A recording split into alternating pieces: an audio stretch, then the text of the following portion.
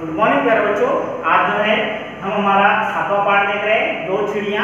इस पार्ट का जो है, हमने अभ्यास कार्य शुरू किया था और अभ्यास कार्य में हमने कुछ प्रश्न भी देखे हैं, ठीक है? आज जो है, अभ्यास कार्य में हम अगला प्रश्न देखेंगे। प्रश्न क्रमांक चार, सही उत्तर चुनकर सही का निशान लगाइए, ठीक है?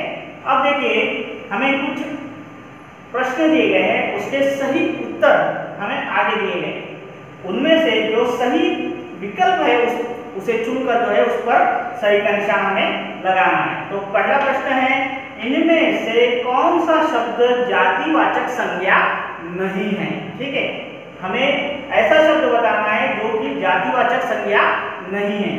तो दिए गए पर्याय है, चिड़िया, वन और उदासी। तो बताइए, जातिवाचक संज्ञा कौन सा शब्द नहीं है? जी हाँ चिड़िया और वन, ये जो शब्द है, ये जातिवाचक संज्ञा के शब्द है। लेकिन उदासी ये जो है, ये भाववाचक संज्ञा का शब्द है। तो ये जो है, उदासी, ये जातिवाचक संज्ञा नहीं है। ठीक है? आगे देखिए।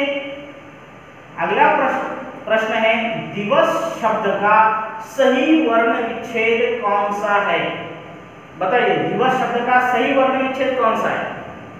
तो देखिए, दिवस इस शब्द का सही वर्ण विच्छेद इस प्रकार से, देखिए। दी ठीक है? आधा द जमा ई, ये हो गया, क्या हो गया? दी ठीक है? उसके बाद व, वो वो कैसा करेंगे? बताइए। जी हाँ आधा व और उसमें अ की ध्वनि आ रही है, अ स्वर आ रहा है, इसलिए अ। दी व, और अंतिम जो वर्ण है वो है स। तो स ये जो है आधा है और उसमें अ की ध्वनि पूरी है। तो देखिए इस पर्याय वाला शब्द कौन सा है? जी हाँ दिवस इस शब्द वाला। ये जो वर्ण विच्छेद है इस वाला पर्याय, नंबर दो वाला पर्याय, ठीक है? तो दिवस इस शब्द का सही वर्ण विच्छेद फिर ये, ठीक है? आगे देखिए, अगला जो शब्द है चिड़िया। चिड़िया शब्द का सही वर्ण विच्छेद कौन सा है? हमें जो है चिड़िया शब्द का सही वर्ण विच्छेद ढूंढना है। तो देखिए, इसी प्रकार जैसे दिवस का किया था, उसी प्रकार कीजिए। चिड़िया इस शब्द का, देखिए, चिड़िया। इसमें ची ची में जो है च आधा है और ई की ध्वनि पूरी है। ठीक है? फिर ड। इसकी ध्वनि आधी है और ई की ध्वनि पूरी है। ये हो गया ये चिड़ी अब या में य जो है आधा है और आ की ध्वनि है। स्वर कौन सा है? आ। आ स्वर है। अब इसमें जो है आ स्वर होने से तो ये वर्ण विच्छेद वाला शब्द कौन सा है? देखिए। जी हाँ पहला नंबर है ना? चिड़िया इस प्रकार से जो है, उसका सही वर्ण विच्छेद है, एक नंबर का, ठीक है? अगला देखिए, प्रश्न है, अगला प्रश्न है, उदास का विलोम क्या है? उदास शब्द का सही विलोम शब्द कौन सा है? बताइए। दुखी है क्या? खुश, निराश, बताइए कौन सा है? उदास शब्द का देखिए, सही विलोम शब्द क्या है? जी हाँ खुश। क्योंकि उदास, इस शब्द का दुखी और निराश, ये एक ही अर्थ आता है ना? तो उदास शब्द का सही विलोम है खुश।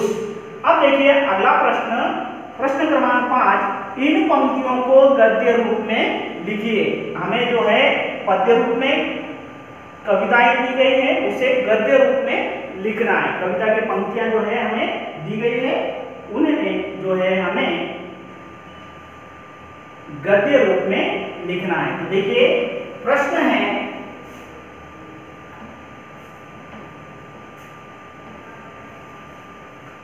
प्रश्न दिया गया है, इन पंक्तियों को गद्य रूप में लिखिए। तो पहला जो हमें गद्य रूप में जो पंक्ति करनी है, वो करके दी गई है। देखिए, घर की चिड़िया की पिंजरे में। ये जो है पद्य रूप में कविता की पंक्ति है, उसे हमें गद्य रूप में लिखना है। तो देखिए, घर की चिड़िया थी पिंजरे में। घर की चिड़िया पिंजरे में थी। गद्य रूप में कैसे लिखेंगे? इस प्रकार। घर की चिड़िया पिंजरे में थी। ठीक है? उसका अर्थ, अब देखिए आगे। वन की चिड़िया थी वन में। वन की चिड़िया थी वन में। इसका जो है जो गद्य रूप में हमें कैसे लिखेंगे? तो देखिए, वन की चिड़िया वन में थी।